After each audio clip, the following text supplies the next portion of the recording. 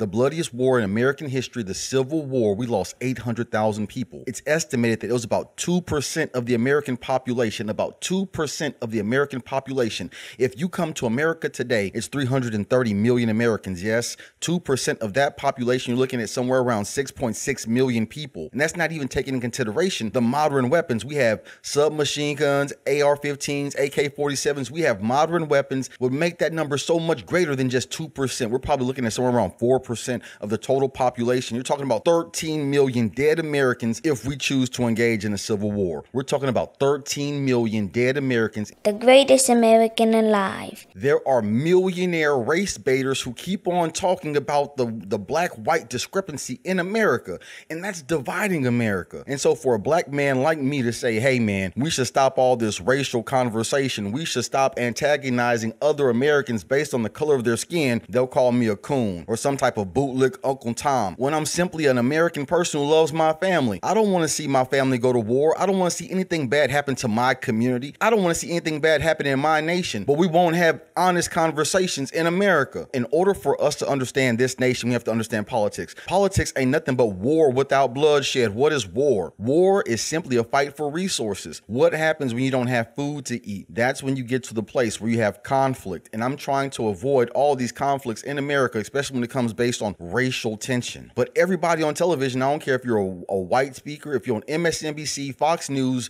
these talking heads are trying to destroy America, talking about race, race this, race that, race this, race that, gender this, gender that. Let's have an honest conversation about the gender war in America. Uh, the honest truth is there is no gender war in America. Our economy is based on men going to work every single day. If you're driving on a freeway or on a road, that road was constructed by some man who was doing some real hard labor. This is dedicated dedicated strictly to the women in America. You're unprotected. If you find yourself in any trouble, what do you do? You get the phone, you dial 911. That's what you do if you're a single woman in America. You call the police. Who are the police? The police are mostly men. That means that some single woman in America, when you call 911, you're calling someone else's husband. You're calling someone else's boyfriend. You're calling someone else's son because you don't have a family to protect yourself. Holy Christ, single women, you better get you some protection. And how do, and what's the form of protection in America? A man, a good old fashioned man. You need a tallywhacker to protect your home. A tallywhacker is more better than a gun because he's going to put his body in the line of harm's way.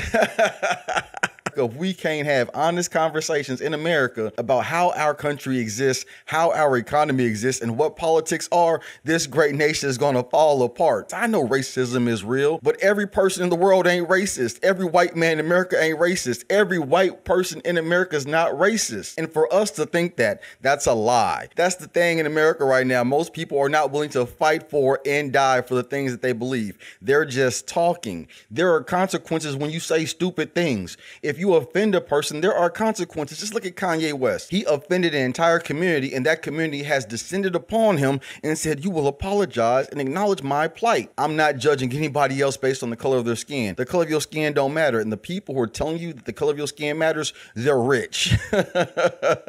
go go see where they live. We just had a global pandemic. We lost six million people worldwide. And we said, man, that was a complete atrocity. But right now in America, we're having conversations that are leading to internal division and internal strife, and we won't even acknowledge the fact that it can lead to more than 6 million dead people in this nation alone. That's why I talk about white folks because they live in America with me. That's why I talk about Mexican folks because they live in America with me. That's why I talk about black folks because we're right here in America and we share this great country with other ethnicities. And if we don't learn how to work together and have honest conversations on dispersing resources to all the American people, we're going to have civil unrest. And right now, having this conversation protects protects us and prevents us from going down a historical calamity. The most important thing in America right now is to fight for freedom through having actual dialogue that builds America, that understands the fundamental foundation of what makes America great. The greatest American alive, baby. The American people make America great. And you are the greatest American alive.